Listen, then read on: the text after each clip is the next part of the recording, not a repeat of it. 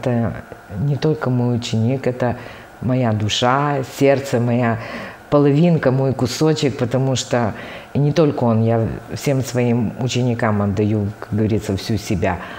Но этот ребенок действительно искорка, понимаете? Потому что когда он выходит на сцену, он дарит все, кто пришли э, на концерты, все, кто пришли на какие-то мероприятия, он дарит улыбку, он дарит тепло, он дарит свое творчество. У нас тут большая творческая э, наша команда, большая творческая семья. Это начиная от э, директора Светланы Ивановны Ганущиной, это от нашего руководителя, который э, старается, чтобы все концерты прошли на большом уровне, Елена Николаевна Саул.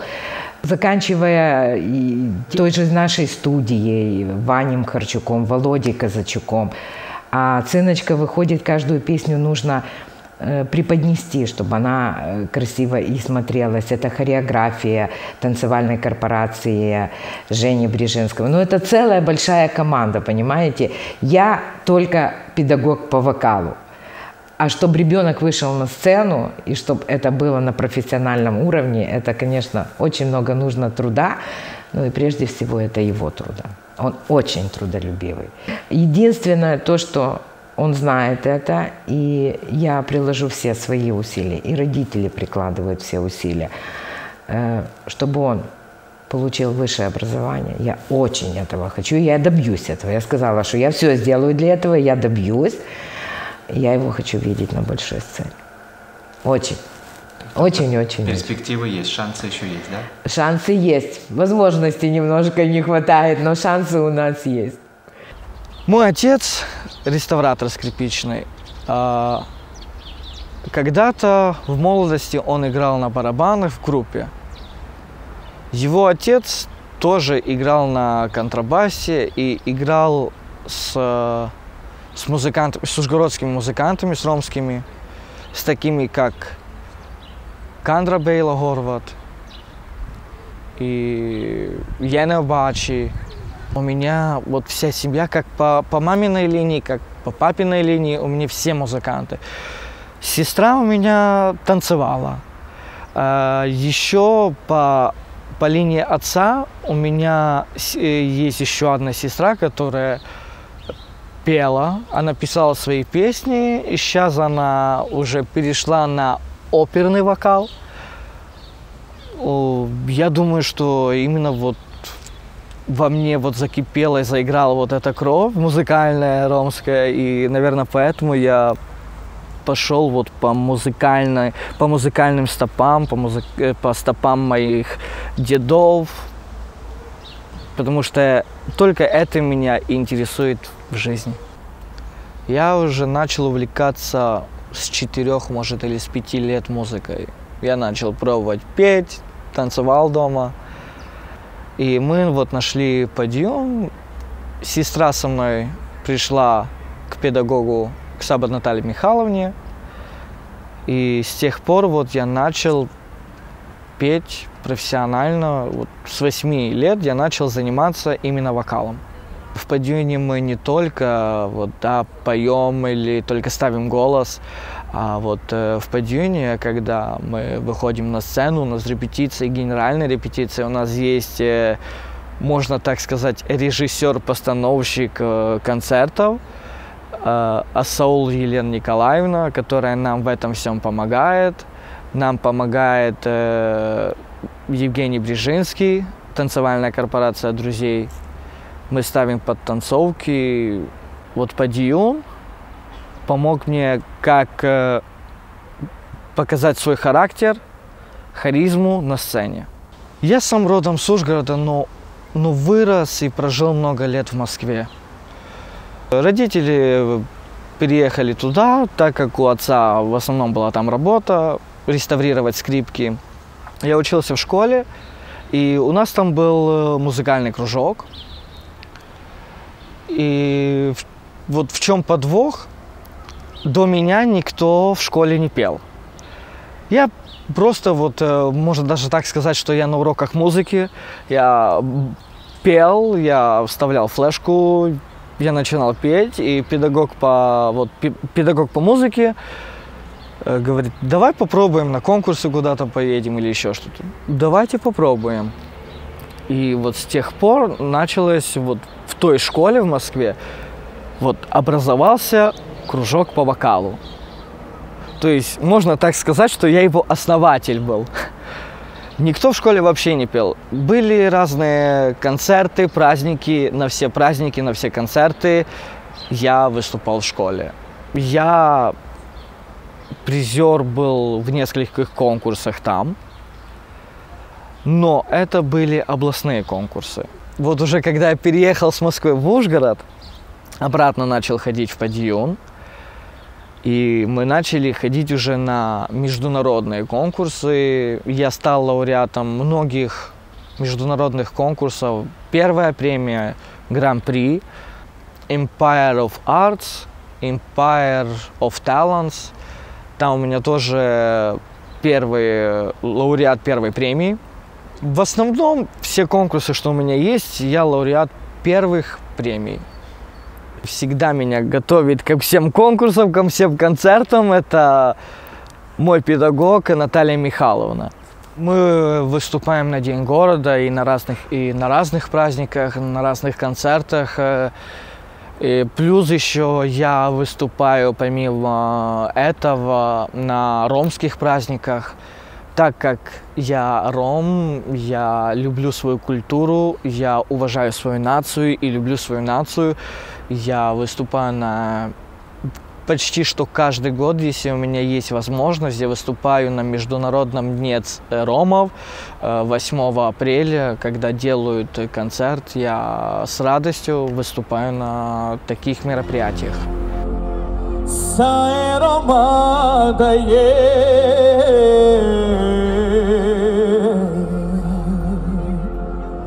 ওরম খেলে না যায়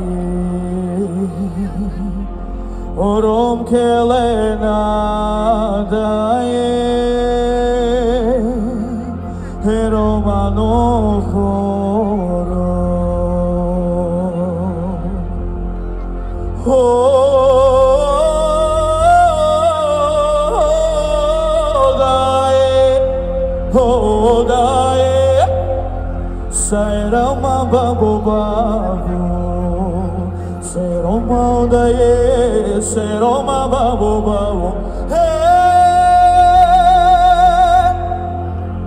Ederlezi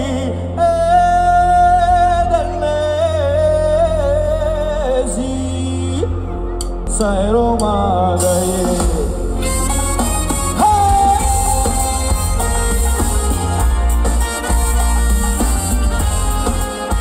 Я люблю петь разную музыку. Я люблю петь этническую музыку, то есть это не только что вот ромская, да, мою. Я люблю петь грузинские песни, я люблю петь турецкие, армянские песни. То есть я люблю восточные, вот, вот да. Тянет тебя. Да, тянет. Э, Я, и я просто люблю петь э, песни на иностранных языках. Я люблю петь итальянские, испанские песни. Вот что я еще не пробовал, это французские песни петь. Потому что французский а, сложно мне выговаривать. Конечно, я люблю петь э, больше старые красивые песни. Почему? Потому что там есть гармония, там есть смысл, там, там все есть, там музыкальность. В современных песнях, если потанцевать, да, это очень классно, завести публику. А если уже вот, э, вот что душа просит, более лирическое, джазовое, романсы. У меня планы на будущее получить высшее образование, но получить высшее образование именно в музыкальной сфере, так как э, вокалист, надеюсь, все получится у меня в этом плане. Сейчас мы на данный момент э, делаем первую мою авторскую песню. В дальнейшем будем делать видеоклип. И надеюсь, что в скором времени, может быть, люди уже услышат мой первый альбом. Я думаю, что в первом альбоме будут как и цыганские песни, так и мои авторские песни, потому что я хочу сделать цыганские песни в, вот э, в моем стиле, как я их чувствую, и сделать свои песни, то есть на русском, на украинском или даже на английском языке.